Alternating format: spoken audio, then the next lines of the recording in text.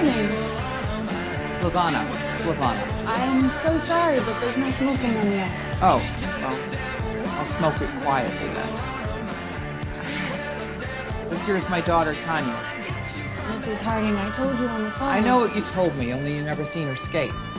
I don't train beginners. All she does is talk about skating all day and night. Can't shut her up about it. So it's easier for me to put her on ice, if you know what I mean. And we figure with the right training, she can make the most of her gift, like ice capades maybe one day or something. How old are you, honey? Uh, she's a soft four.